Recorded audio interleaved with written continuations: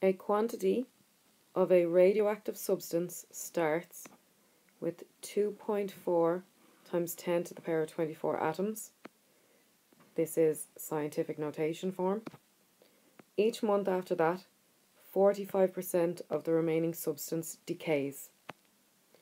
Write in the form A times 10 to the power of n, where A is greater or equal to 1 but less than 10.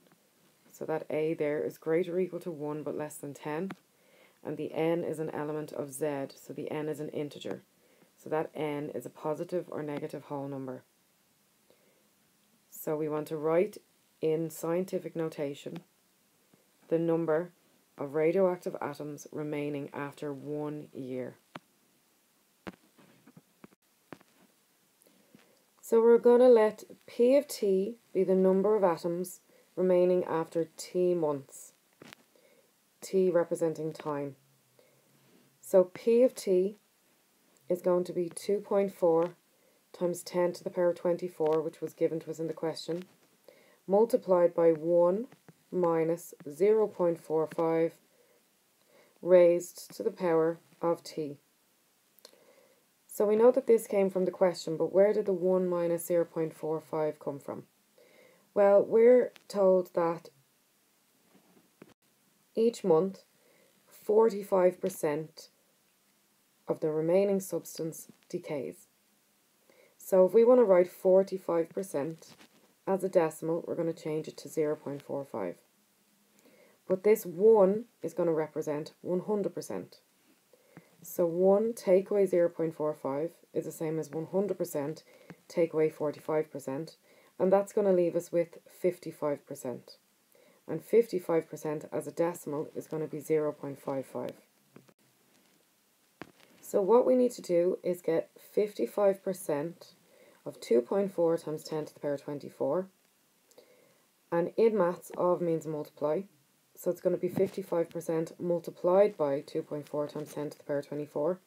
But we're actually going to have it as a decimal. So it's going to be 0 0.55 multiplied by 2.4 times 10 to the power 24. So that's where this comes from. 2.4 times 10 to the power 24 multiplied by 0 0.55 and we're going to raise that to the power of t, t representing the number of months. Now there is actually a formula that we can use to work this out, um, but let's just go back to this 55% for a minute. Where is this coming from? So if each month 45% of the remaining substance decays, that means every month 45%, we're losing 45%, then we still have 55% each month.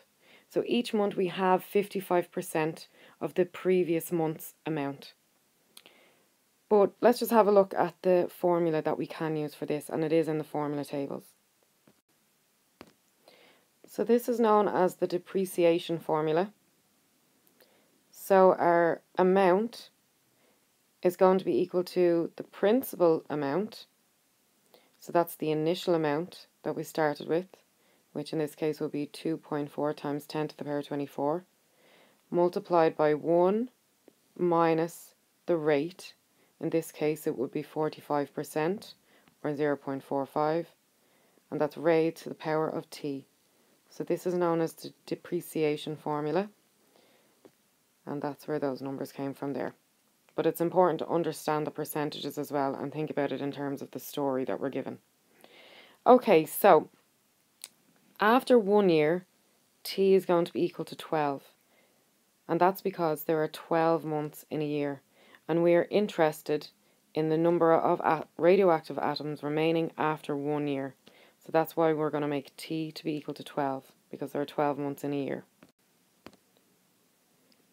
So we're going to have p of 12 equal to 2.4 times 10 to the power 24 and that's going to be multiplied by 0.55 to the power of 12, which will give us 7.662 times 10 to the power of minus 4. So 0.55 raised to the power of t. We're going to swap the t for 12 because there's 12 months in a year. And 0.55 to the power of 12 is going to give us 7.662 times 10 to the power of minus 4. So I've rounded off this decimal to three places. So since we have 2.4 times 10 to the power of 24 and we're multiplying it by 7.662 times 10 to the power minus 4, we're multiplying each of these together so we can actually take out the 2.4 and the 7.662 and group those together, just multiply them to give 18.3888 to four decimal places. And then we can group together the 10 to the power of 24 multiplied by 10 to the power of minus 4. And we can put those together. So when we're multiplying powers with the same base, we add the powers. I know there's a minus in here, but that's because there was already an, a minus in the ind index. So 10 to the power of 24 multiplied by 10 to the power of minus 4 is actually 10 to the power of 24 plus minus 4 because we add the powers. We're following law 1 of indices. So this is law 1 of indices. a to the power of p multiplied by a to the power of q gives us a to the power of p plus q. So multiplying powers with the same base, we add the powers. So 10 to the power of 24 multiplied by 10 to the power of minus 4 gives us 10 to the power of 24 plus minus 4, which is the same thing as 10 to the power of 24 minus 4. And 24 take away 4 is 20. So we get 10 to the power of 20. Now, we were told in the question that we would like a to be greater or equal to than 1 but less than 10. And at the moment we have 18.3888. So 18 is clearly going to be greater than 10. So we're going to have to move our decimal point one place to the left. So we get 1.83888. And therefore we're going to have to add on 1 to our power. So 20 becomes 21. So these are two of our rules of scientific notation that we should learn off. If the power gets bigger, the decimal point moves to the left, and if the power gets smaller, the decimal point moves to the right. So we needed our decimal point to move to the left so that this would become 1.83888 and this 1 is greater or equal to 1 but less than 10 and that's what we want.